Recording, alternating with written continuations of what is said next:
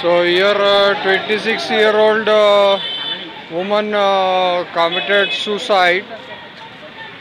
My investigation revealed that uh, what do you call uh, husband was not a good person. So is it a lockdown murder by Modi, Jangir, Jagan?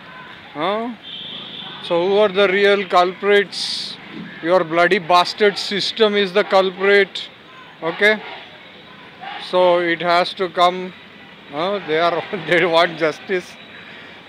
Uh, my father murdered, my mother murdered, nobody uh, has a, got awakened. They want now it is coming to their own lives. Now they want justice.